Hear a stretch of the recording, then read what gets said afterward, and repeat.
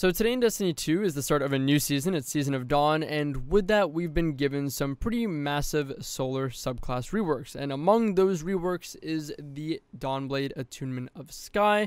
This has seen some pretty massive reworks, and in this video I'm going to be showing you guys some of the ways that you can utilize the new movement and interaction of each of the different glides, the Icarus dodge, and your new ability Heat Rises. So we're going to be talking about that. Just in advance, I'm just going to say that this is a live recorded video, so this is a little different from my other videos. I didn't feel like I needed to edit a whole lot into this. I'm just showing off a few things because I plan to do a build video tomorrow that's going to utilize these things, but I thought it'd be better if I just explained these things first before uploading that build. So, anyways, also my controller has been duplicating some inputs for some reason you're going to see me just float upwards sometimes, even though I'm just meaning to press the button once. I'm sorry in advance. But anyways, this class has an iconic ability, I guess iconic to it per se, which is called the Icarus Dash. This is a Twilight Garrison-esque dodge that you now get two dodges as of this new rework and update per every 5 second cooldown. It now reacts to momentum a lot more in terms of maintaining momentum and working against momentum. And you can use those dodges in rapid succession. For me, all I have to do is jump and just double tap, or I guess class ability. For me, it's double tapping B, which would be my crouch button. But that's how I would activate it. I'm uncertain about other loadouts. But when you're using this, of course, you can use it to have better in-air evasiveness and still twist and turn while you're in those dodges, oppose your momentum, and be as, again, evasive as possible in your fights. One thing that I don't think a lot of people might remember about this class, though, is you don't actually need to be in the air to activate that dodge. Meaning, you can actually just double tap and then jump, and then it's going to activate the dodge as soon as your character lifts off the ground. So if I double tap crouch and then jump, as soon as my character lifts off the ground, he's going to be in a dodge animation depending on where my left stick is moving towards or pointing towards. So this makes it really nice because you could actually be in a gunfight and if you're a controller player, we don't have that kind of speed that mouse and keyboard has to just dip back into cover on a dime. Like we still have to kind of turn, you know, I still have that little bit of a turn before we get in cover. But now, if you're in a gunfight, you can just Sorry about that. You can simply just double tap and then jump and you're back in cover. Boom, boom. Just like that. Just double tap and then jump. Very, very simply. So that's a really cool tip to have if you're looking to use your Icarus dodge as a way to stay alive, of course, which I assume you would be. But now let's talk about different ways that you can actually, I guess we'd call it Warlock Skate basically utilize the interaction between your glides as well as the abilities on this tree and the Icarus dodge to move really quickly. So firstly, we're going to be starting with the burst glide.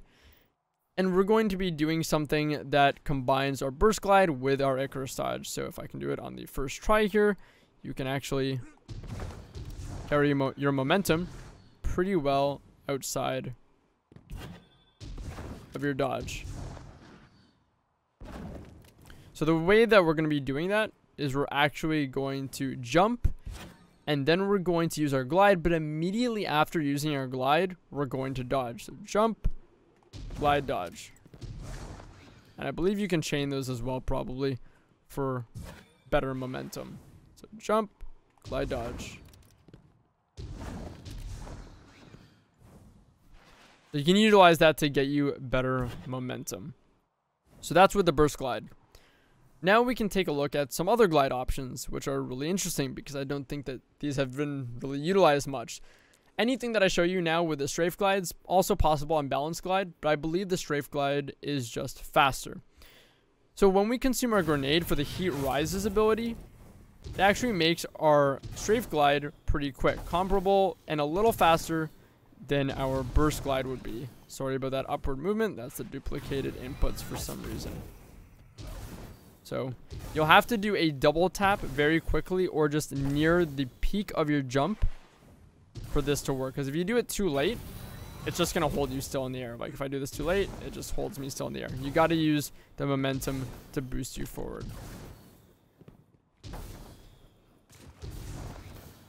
So consume a grenade again. And if you try to do it on the downward momentum, sorry about that, that's the duplicated inputs. You try and do it on downward momentum, it doesn't really work either, it just holds you in place.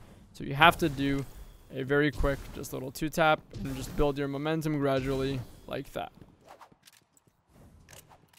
Now, another thing that we can do is we can actually see how that interacts on the burst glide, because you're probably wondering how that works. And it's actually not good. So, it actually slows us down quite a bit. You can see with the burst glide here, it doesn't really work. It actually feels slower than the stock burst glide, which for reference, we can see how fast it is here. And of course, burst glide works with that downward momentum as well. But again, comparing that to our charged, I'm going to call it strafe glide. I think the strafe glide is a little bit faster. At least it feels that way to me. Now, if you combine these with transversive, I'm not sure if it's faster or not. It appears to be a little faster, I want to say. We'll do it right here.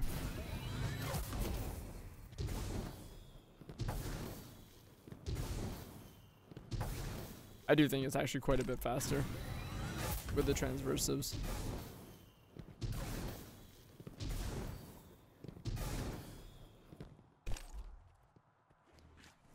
And then we can also take a look at the burst method with our dodge with the transversives. Oh, whoops. Wrong thing. we'll go. I don't feel like it's all that much different. I feel like the other one was more significantly different with the transversives on. So if we go back to strafe glide, we'll consume a grenade. Take a look at it. Whoops. There we go. Looks like we have some decent speed. Again, sorry about the duplicated inputs when I'm just floating upwards. It's not intentional. Okay. So now another thing they said about Dawnblade is you're actually not able to kind of throw yourself around the map anymore and just fly at insane speeds across the map. And if we put on our burst glide and activate Dawnblade as we would pre-patch, we're going to see that that's kind of true. You know, it's pretty slow. It's not very good. This is the exact kind of thing that we'd do pre-update, and now it's, again, very slow. However, and this is the enticing reason of why you want to use Strafe Glide. It's not only about the interaction it has with, of course, Heat Rises, that's just cool. But this, with Dawnblade, seems to be very similar to pre-patch where we're going to build that momentum, build tons of momentum, and move around the map pretty quickly and freely with our Dawnblade as if it was pre-patch. So I'm sure you're not going to want to be swapping between the two, of course, between your strafe glide and your burst glide really frequently. If you'd like to, if you really love burst glide and you just want to swap for the super, I mean, be my guest. But I'm just showing you that there is a utility to having strafe glide as well with heat rises. Especially when, of course, you know, you consume your nade and activate that. It's pretty good. It works pretty well. Now, if you activate your super and consume your grenade, it does not work. It's not a bad burst, or bad glide. It's just obviously not like pre-patch. It's pretty average. But if we have, if we don't have that, you can see we can build just so much momentum.